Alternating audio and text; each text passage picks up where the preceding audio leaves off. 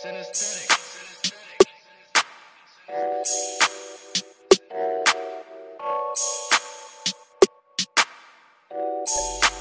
news breaking news everyday news on prince miller entertainment tv remember guys to like share comment and follow and turn on the notification bell so that you won't miss any of our new uploads that we do upload here today is the 21st of uh, august uh, 2022 as we continue following uh, the situation is in um, Justice Mayor Wadyajena is Temba Mliswa, the man is also saying that uh, he also have evidence on Wadyajena's corruption. So which means that uh, you know kana vachida mavhile venamwe eh, Temba Mliswa ane mavhile venanawo regarding to uh, the corrupt deals uh, Justice Mayor Wadyajena who is at the center of this situation yari whereby uh, he's been accused of defrauding COTTCO uh, of 5 million uh, us dollar ndo mari kunzi yakazonotengwa matrucks andika yes so um, independent anoton uh, legislator temba mliswa said this week that he is also as evidence on justice mayor Wadyajena's corruption.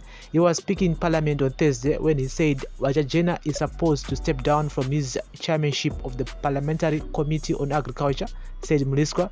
So how do people hold parliament today how do people hold the government of the day and how do people hold the ruling party when they are protecting a chairperson? To me it is this parliament which is aiding corruption because i brought this issue up and it was not answered. Mriswa said aiding that wajajena has been implicated in many scandals before. I also have evidence on him wajajena with sfg giving money and he never brought that SFG to that parliamentary committee, yet they were an agricultural concern. At this point in time, with immediate effect, he must step down. It is the best practice, even if the rule is not there. He has no respect amongst his colleagues anymore, and unfortunately, the blue-eyed boy for Wakuru in this parliament has fallen. I'm sure will fall with many others too, because these transactions are quite serious. I have evidence, and I will be providing the evidence to ZEC in terms of saying as parliament we cannot push for corruption and expose ministers but we are in the forefront of it deputy speaker Tsitsi Gezi said she could not comment as the matter was now before the courts Wadyajena was arrested along with COTTCO executive earlier this week by the Zimbabwe Anti-Corruption Commission ZEC and faces 5 million US dollar corruption charges. He was however released a day later on 200,000 Zimbabwe dollar bill equivalent to about 250 US dollar.